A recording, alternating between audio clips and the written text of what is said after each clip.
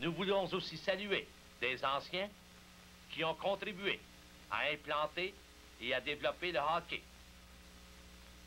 Monsieur Léo Dandurand, notre populaire sportsman, a déterré pour nous de vieux films de 1925 à 1930 et nous sommes heureux de vous les montrer. Assistons à une pratique du club canadien au parc Jeanne-Mance en 1925.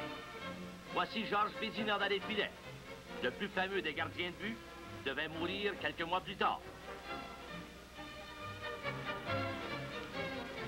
Silvio Manta et Albert Leduc repoussent les élans de Morens, Jolia et Boucher.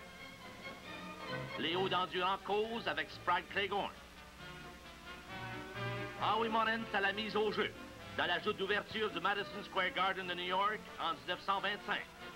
Le Canadien battit l'Américain par 3 à 1 et Albert Leduc compta le premier point. Morens portait alors le numéro 6 au lieu du numéro 7 qu'il illustra si bien par la suite. Il n'y a rien de lent dans ce jeu.